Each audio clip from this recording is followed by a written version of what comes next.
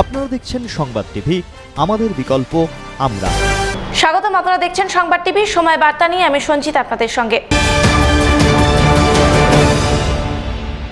নবরূপে light house Arambagh hotel and resort private limited.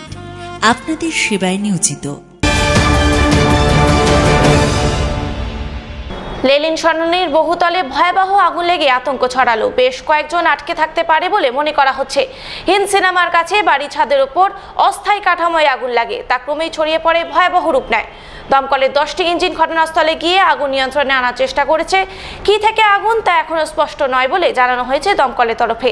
এই বিধ্বংসী আগুনে ভেঙে পড়ে বাড়ির একাধিক অংশ। প্রচণ্ড ঘিঞ্জি এলাকা হওয়ায় পাশের বাড়ির ছাদ থেকে জল দিয়ে আগুন নিয়ন্ত্রণে আনার চেষ্টা চালায় দমকল কর্মীরা।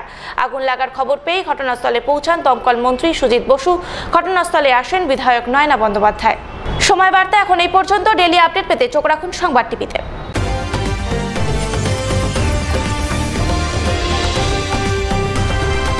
আপনারা দেখছেন সংবাদ টিভি আমাদের বিকল্প আমরা।